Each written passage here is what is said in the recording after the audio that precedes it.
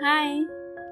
The question is Find all pairs of prime numbers whose sum equals 999.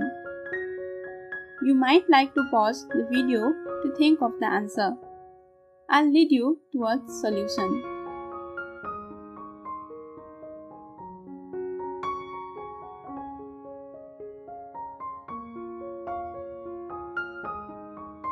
All we need here is some clever logical reasoning.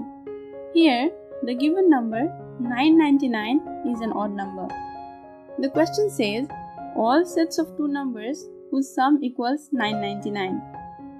For sum of two numbers to be odd, one of them must be odd and another even, isn't it?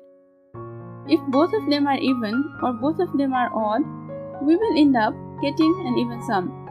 For example, two even numbers. Let's say 14 and 32 gives us 46, which is an even sum. Similarly, two odd numbers, let's say 11 and 15 gives us 26, also an even sum. But the sum of one odd number, let's say 15, and another even number, let's say 14, gives us 29, an odd sum. So there should be one odd number and one even number. Now, the question says two prime numbers.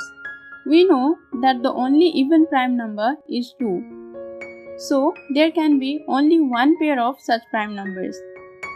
Now, what should be added to 2 to make 999? It's 997. So, the prime numbers are 2 and 997. As simple as that. Solved. If you too got this answer and if you too use this clever logical reasoning, you are above 70% of the people. Like and subscribe for more interesting videos. Do share this video with your friends and family.